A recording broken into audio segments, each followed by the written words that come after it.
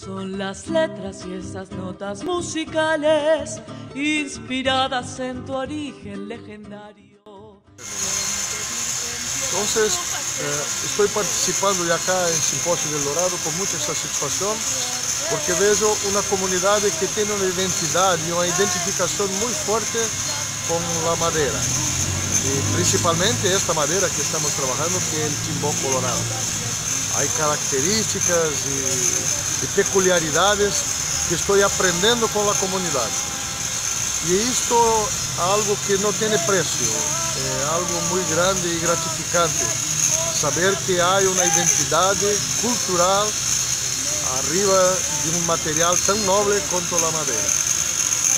Además del convívio com os colegas escultores, todos muito buenos escultores, representando acá sua qualidade plástica de realização de esculturas, que vão ficar para um acervo permanente em El Dorado.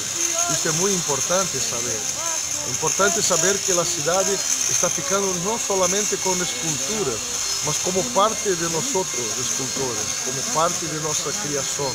E isto é um pouco de nossa alma.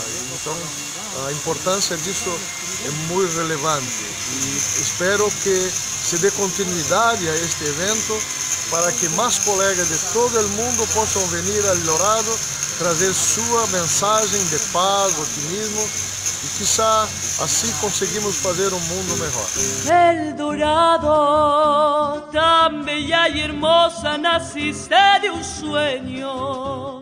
Mezcla de fragancias, de flores silvestres, arrullada en trinos del amanecer.